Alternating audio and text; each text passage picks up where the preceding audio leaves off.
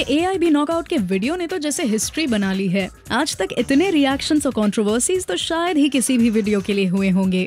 We must say Ranveer Arjun and करण काफ़ी अच्छा step लिया है आप लोगों ने लाइमलाइट में रहने के लिए। Well according to the reports a Lucknow based activist has filed a case against these three actors under the section 294 of IPC for using obscene language in public. लो बताओ। ऑलरेडी जो एक दो केसेस फ़ाइल किए गए थे इनके खिलाफ, वो कम थे क्या? जो एक और केस फ़ाइल कर दिया? अब इससे कैसे बचेंगे आप तीनों? ये देखने के लिए तो हम भी बेकरार हैं। What do you guys have to say about this? क्या आपको लगता है कि इन तीनों पे केस फ़ाइल करना सही है?